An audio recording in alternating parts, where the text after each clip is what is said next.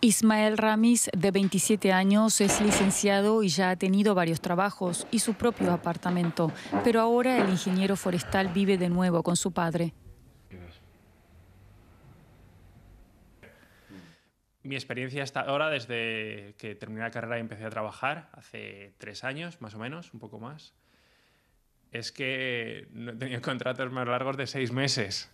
Entonces, algunos mejor pagados que otros, pero, pero claro, y por supuesto cambiándome de, de ciudad.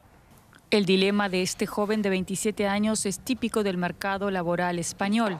Está harto de incertidumbre y desea encontrar un trabajo en el sector público.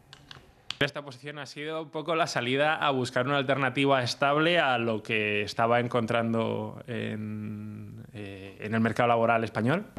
Preguntamos a un experto en el mercado laboral por qué la situación es tan difícil para los jóvenes. El turismo estacional jugaría un papel importante y el tamaño de las empresas también. Eh, es un tejido empresarial el español dominado por las pymes, las muy pequeñas empresas, no grandes empresas o de tamaño intermedio como en Alemania, que es un poco la fuerza del aparato productivo alemán.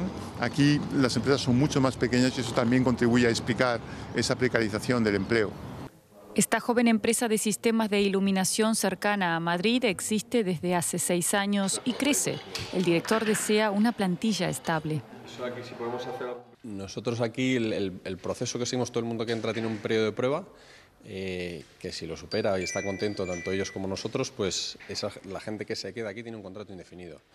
Alfonso Mejino da a sus empleados la oportunidad de mejorar conocimientos y progresar en la empresa. Cuando contrata a nuevos empleados, nota que la formación universitaria se queda en la teoría. A nosotros lo que nos gustaría es que la gente viniese con, con, con todas esas lecciones muy aterrizadas, no, no simplemente teoría. ¿no? Ismael Ramis vivirá con su padre unos meses más. A pesar de sus estudios y su experiencia laboral, el examen para funcionario requiere una mayor preparación teórica.